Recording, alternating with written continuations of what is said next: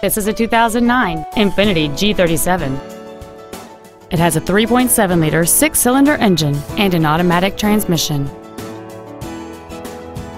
All of the following features are included. A double wishbone independent front suspension, a low tire pressure indicator, xenon headlights, a security system, front and rear floor mats, front fog lights, a traction control system, cruise control, and this vehicle has fewer than 38,000 miles on the odometer.